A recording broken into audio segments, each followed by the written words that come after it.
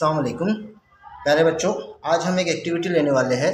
ये एक्टिविटी सबक नंबर तेरह से ही है, जिसका नाम मसला फिसागोरस है। हमने इससे पहले के दो वीडियो देखे, जिसके अंदर हमें ये चीज़ समझ में आ गई कि हम किस तरह से कायमतुजाविया मुसलस को देखते हुए हमने मसला फिसागोरस की किस तरह से तस्दीक की। अब यहाँ पर एक कार्डशीट है मेरे पास स्केल है, स्केच पेन है और इसके साथ साथ मेरे पास एक ब्लॉक्स है। ये ब्लॉक्स है, यहाँ पर मैंने ब्लॉक्स रखा हूँ। ये है, इस चीज़, इन चीज़ों का इस्तेमाल करते हुए हमें ये करना है कि एक कार्डशीट लेना है और कार्डशीट पर तीन, चार सम, पाँच सम लंबाई का एक कायमत जाया मुसलस बनाना है। हर ज़िले पर एक मुरबा बनाना है और हर मुरबे की रकबा मालूम किस तरह से किया जाता है, ये हमें देखना है और फिसागोरस के मसले की तस्दीक करना है। तो यहाँ पर अब देखेंगे, आप सामने दिखाई दे रहा है आपको कि मैंने एक तीन सम का एक मैंने यहाँ पर एक इरतफ़ा खींचा हूँ, इसे कहेंगे हम इरतफ़ा। और फिर यहाँ पर उसका कायदा है, जो चार सम का है, ये चार सम का, ओके, ये चार सम का है, जिसे हम कहेंगे कायदा। और एक वितर जो लिए है हमने, ये दोनों अजला को मिलाकर हमने जो वितर खींचा है, ये है इसकी लंबाई पाँच सम। इस तरह से हमने कायमत जाविया मुसलस बना लिए। कायमत जाविया ये नब्बे दर्जे का होता है, यहाँ पर हमने लिख भी दिए इस तरह से अब हमें क्या करना है, इसकी तस्दीक किस तरह से करना है? तो सबसे पहले हमें ये देखना है कि फिसागोरस के मसला क्या है? फिसागोरस का मसला ये है, जो हमने पिछले वीडियो में भी सीखे, और आज अभी भी मैं इसकी तारीफ़ आपको बताता हूँ, उसका नज़रिया बताता हूँ, कि कायमत जाविया मुसलस में वितर का मुरबा कायमत जाविया मुसलस में वीतर का मुरबा बाकी मानदा दो अजला के मुरबों के मजमू के बराबर होता है। ये दोनों के मुरबों के मजमू के बराबर होता है। ये उसका मसला है। अब हम क्या करेंगे कि यहाँ पर जबता क्या है कि भाई इरतफ़ा।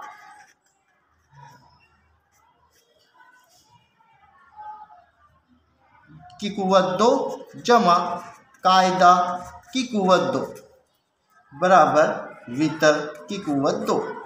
इस तरह से। अब यहाँ पर हमने इरतफ़ा तीन सम का ले लिए, कायदा चार सम का ले लिए और वितर की कीमत यहाँ पर पाँच सम लिख चुके हम ऑलरेडी यहाँ पर। तो अब यहाँ पर हमने लिखे कि तीन सम इरतफ़ा है, जमा कायदा चार सम है, ये वाला जब बी सी जो है वो इसकी कुवत दो और वितर की कीमत भी यहाँ पर मौजूद है तो ये हो गया पाँच की कीमत दो। तो इसके रूप से ये हो गया कि इसकी कुवत दो यानी नौ, जमा सोलह, जम बराबर पाँच की कुवत दो यानी पच्चीस। अब हमको इसके हिसाब से, अब यहाँ पर अपने पास छोटे छोटे से जो मुरबे रखे हुए हैं, इनको हमको जमा करके इसके ऊपर रखना है और हमें इसकी तस्दीक करना है। कि ये दोनों अजला के मुरबों का मजमु वितर के बराबर होता है या नहीं, ये हमें देखना है। तो यहाँ पर आप देखेंगे कि किस तरह से मैं यहाँ पर रख रहा हूँ। तीन की कुवत दो है इसका मतलब यहाँ पर नौ है। तो यहाँ पर नौ आ गए, एक, दो, तीन, चार, पाँच, छः, सात, आठ, नौ। ये आ गए, इसकी कीमत यहाँ पर आ गई। उसके बाद होता है फिर कायदा बी सी उसकी कीमत है चार सम। तो अब यहाँ पर चार सम हमको करना है। चार सम के हिसाब से यहाँ पर चार चार मुरब्बों का एक ग्रोह तैयार हुए और उसके हिसाब से हम इसको बना रहे हैं।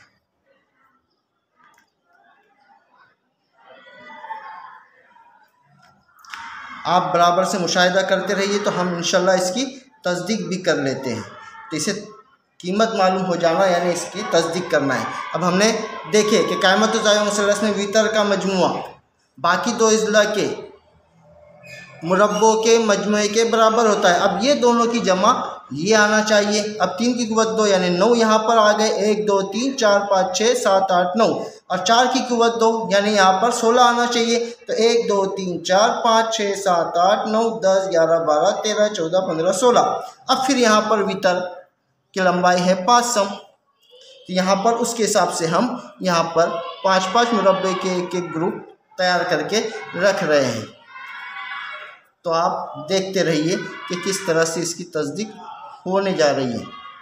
अब यहाँ पर जब हम इसको काउंट करेंगे तो अब ये दोनों का मजमू मुरबे के मजमू की जमा इस, ये आना चाहिए। तो अब ये कितने हो गए? नौ। और सोलह। ये दोनों की जमा कितनी होगी? पच्चीस। तो ये पच्चीस आना चाहिए।